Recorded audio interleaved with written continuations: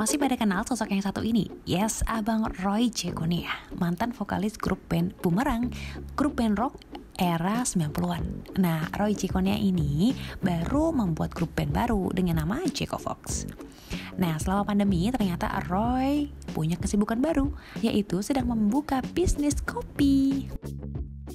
Uh, macam-macam saya jualan kopi, saya jualan gitar, mereknya JCVE gitar. Kalau kopi, mereknya kehadiran kopi. Uh, nanti boleh dicoba. Di daerah mana tuh bang? Enggak, enggak online aja. Oh, online. Karena kalau offline kita sekarang juga lagi nggak mungkin ya situasinya begini. Jadi uh, sedang menggiatkan online. Kopi dengan nama kehadiran kopi ini mempunyai dua varian, yaitu kopi buat yang suka manis-manis dan kopi hadiran senja khusus less sugar. Kemasannya pun juga ada dua, yaitu dengan botol plastik dan tube.